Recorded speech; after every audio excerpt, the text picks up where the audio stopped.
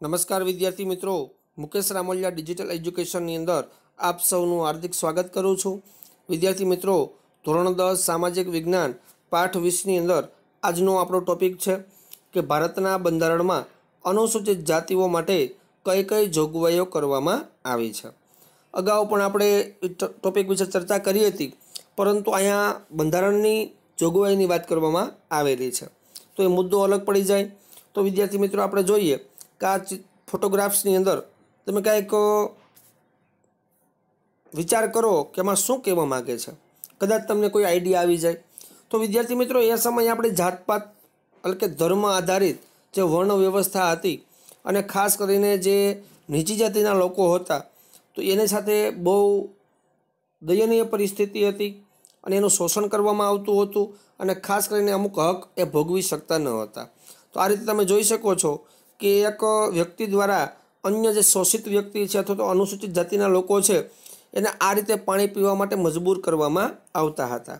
તો આપણે જોઈએ એના વિશે કે બંધારણના આર્ટિકલ સત્તર મુજબ અસ્પૃશ્યતા નાબૂદ કરવામાં આવી છે. અસ્પૃશ્યતા એટલે અમુક જે નીચી જાતિના લોકો હોય, અનુસૂચિત જાતિઓ, અનુસૂચિત જનજાતિઓ, તો એ એની સાથે જે કાંઈ ભેદભાવ કરવામાં આવતા હતા કે રસ્તા ઉપર ચાલવું નહીં અને ચાલવું હોય તો પગની અંદર ઘૂઘરા બાંધવામાં આવતા હતા અને ખાસ કમરના પાછળના ભાગની અંદર સાવરણો બાંધવામાં આવતો હતો કે જેથી કરી અને પોતે ચાલે તો એના પગલાં ક્યાંય છપાવા જોઈએ નહીં, દેખાય નહીં. આવી માન્યતાઓ હતી એ સમયની અંદર. ઘણા બધા આવા પરંપરાઓ હતી, રૂઢિચુસ્તતા હતી. એને એક ગામનો જે કૂવો હોય તો એ ગામના કૂવામાં પાણી પણ ભરી શકે નહીં. એને અલગ કૂવામાંથી પાણી ભરવું પડતું અને ગામની બારોબાર એને રાખવામાં આવતા હતા. વગેરે વગેરે બાબતોનો આપણે અભ્યાસ અગાઉના ટોપિકમાં કર્યો હતો. તો આને આપણે અસ્પૃશ્યતા કહી શકાય. તો આપણા બંધારણની અંદર આર્ટિકલ સત્તર મુજબ અસ્પૃશ્યતા નાબૂદ કરવામાં આવી છે. કોઈપણ સ્વરૂપે અસ્પૃશ્યતાના અમલની મનાઈ ફરવામાં આવી છે. અસ્પૃશ્યતાના કારણે લદાતી કોઈપણ ગેરલાયકાત કાયદાની રૂએ સજાપત્ર ગુનો ગણાય છે. તમે વિદ્યાર્થી મિત્રો, કોઈ જગ્યાએ શહેરમાં જઈને નાસ્તો કરવા જાઓ છો, તો નાસ્તાની લારીમાં જે વ્યક્તિ લારી તમને કંઈ ખાવાનું પીરસે છે, તો ત્યાં તમે કોઈ જાતપાત નથી પૂછતા.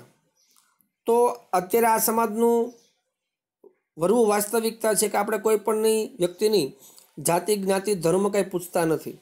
પરંતુ એક સમય એવો હતો કે એનો પહેરવેશ પરથી લોકો ઓળખી જતા હતા કે ખરેખર આ શુદ્ર જ્ઞાતિનો છે, આ બ્રાહ્મણ જ્ઞાતિનો છે, આ ક્ષત્રિય છે, આ વૈશ્ય છે. તો આ પ્રમાણે વર્ણ વ્યવસ્થા હતી. બ્રાહ્મણ, ક્ષત્રિય, શુદ્ર અને વૈશ્ય. પરંતુ હવે તો એવું કાંઈ રહ્યું નથી, કેમ કે બંધારણની અંદર આ ગેરકાયદે, ગેરલાયકાત ધરાવતી જે અસ્પૃશ્યતા હતી, એને રદ કરવામાં આવેલી છે. વિશેષ જોવા જઈએ તો કેન્દ્ર સરકારે બનાવેલા અસ્પૃશ્યતા નાબૂદીના કાયદા ઈસવીસન ઓગણીસો પંચાવન મુજબ અસ્પૃશ્યતાના ગુનાઓ માટે જરૂર પડે તો દંડ અને જેલની શિક્ષા ફટકારવાની જોગવાઈ કરવામાં આવી છે. કે જો કોઈ સંસ્થા દ્વારા, વ્યક્તિ દ્વારા કે કોઈ પણ એકમ દ્વારા અસ્પૃશ્યતાની અંદર રાખવામાં આવતું હોય અને અસ્પૃશ્યતાનો જો ગુનો બને તો જરૂર પડે તો એને જેલની સજા તો શિક્ષા પણ કરવાની જોગવાઈ આપણા બંધારણની અંદર કરવામાં આવેલી છે.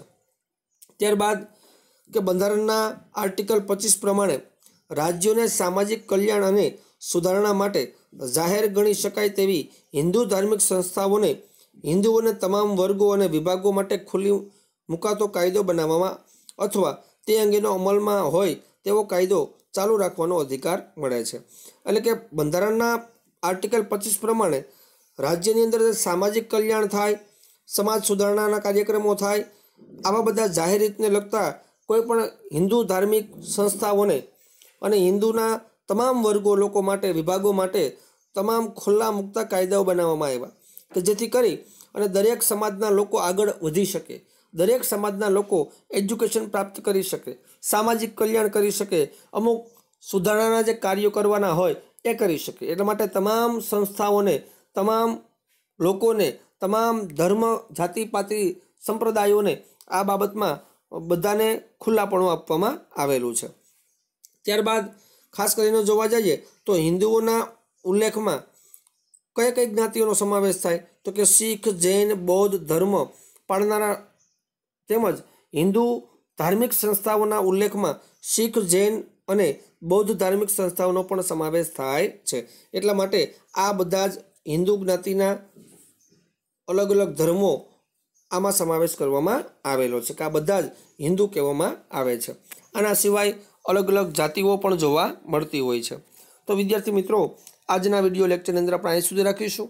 આગળના વીડિયો લેક્ચર જોવા માટે ખાસ તમે ચેનલને સબસ્ક્રાઈબ કરી દેજો, જેથી કરી કે જેવો ચેનલમાં વીડિયો અપલોડ થાય, કે તમારા સુધી નોટિફિકેશન મળતું રહે.